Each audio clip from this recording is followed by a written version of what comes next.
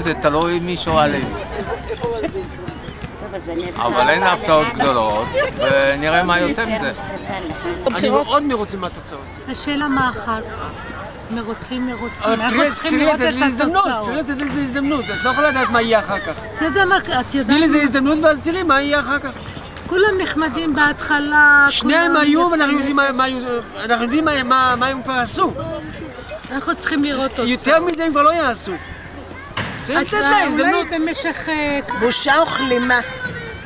הנה חזרנו לאותו מצב שהיינו בו קודם, שאף אחד לא הצליח להרכיב ממשלה.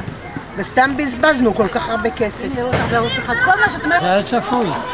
ששני המקומות הראשונים יהיו באמת שני המקומות הראשונים, שהימין יהווה רוב.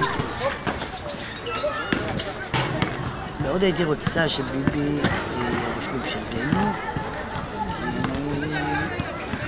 אני מאמינה בו, שיהיה לכולם טוב, מבחינה כלכלית, מבחינה ביטחונית וכדומה.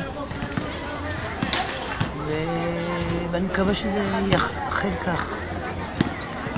גוש ימין ניצח פה, ולדעתי זה מה שיקרה. יש פה גוש חוסם, ואין ספק שקדימה אומנם מפלגה גדולה, אבל לא ינצחו, לא- לא לא יקימו ממשלה. זה מבלבל את העם. זה מאוד מאוד מבלבל את העם. לא? לא התבלבלתם?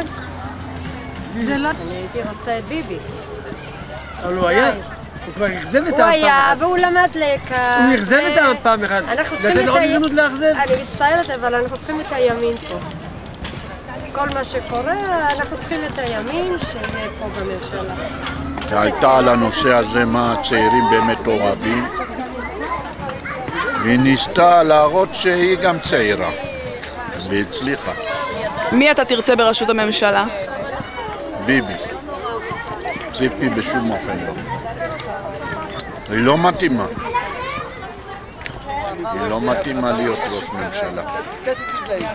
אני רוצה לראות איך אה, פעם אחת אה, ראש ממשלה מסתדר. ראש ממשלה אישה? כן. אנחנו בכלל יודעים מה התוצאות. בחירות. אכלנו אותה. למה?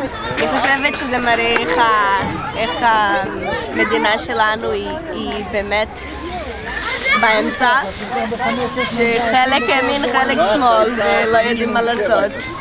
וככה הם היהודים, נכון. אנחנו תמיד ככה, יש תמיד דעות שונות. ואני רק מקווה שזה יעשה לנו ממשלה אה, באמת ש- שחושבת על המדינה כזאת ולא קיצונית. אני חושבת אה, שהאוכלוסייה זזה לצד ימין, הם לא באמצע בכלל, שיש לנו קדימה, אבל חוץ מזה כולם הם הצביעו לאנשים בצד ימין, ושציפי לא, היא לא תצליח אה, לבנות ממשלה בכלל, ושיהיה לנו אה, ממשלה ימינית.